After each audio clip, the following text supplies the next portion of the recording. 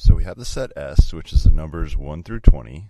We have A and B, and we need to draw a Venn diagram because it's important to know what's in common to A and B and what's also not in A and B.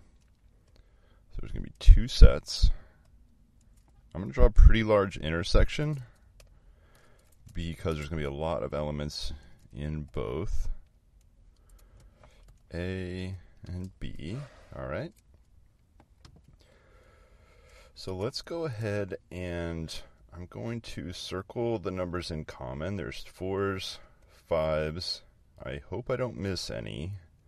Nines, elevens, twelves, thirteens, fifteens, seventeens. All right, these are the numbers that are in both A and B.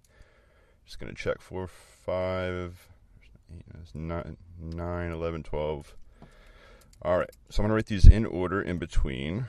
4, 5, 9, 11, 12, 13, 15, and 17. Okay. What's not circled, that's still on the screen, everything else I just circled is in B. So I'm just going to write those 3, 6, 7, 3, 6, 7, 16, 18. What's left in A? 8, 10, 19. All right, so we have what's in A and B. Now there's the universal set, which is what these both live inside of. And the universal set was everything 1 through 20 right here. Technically, they're labeling it as S. That's fine. So 1 through 20. So I'm going to count up every number I don't see written down, I'm going to put inside S. So there's no 1. There's not a 2. There is a 3 right there. Uh, 4, 5, 6, 7, 8, no, no, 9, 10, 11, 12, 13, 14. I see no 14. 15 is here. 16, 17, 18, 19, and there is no 20, but 20 is included, so we need a 20. Okay, so we now need to find some complements. It might be easier to write B complement next to the B set, um, or it might be easier to write it down here where I can just see this is what's in B and I want to describe everything else.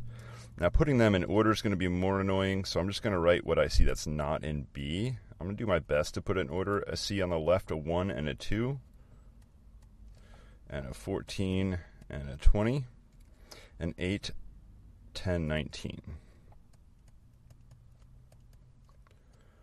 All right, so that's B complement, everything not make sure you put the C, B to the C power. That means B complement. Everything not in B. Okay, we're getting there. Now I want to intersect that with A. So B complement intersect with A. I'm just going to write down what's in A again, and I'm just going to copy what's in here. 4, 5, 8, 9, 10. Oh boy four, five, eight, nine, ten, eleven, twelve, thirteen, fifteen.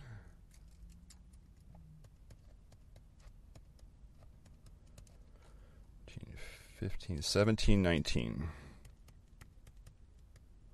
And I want to intersect these two, B complement intersect A. So it's what's in common with the two sets you can see in blue.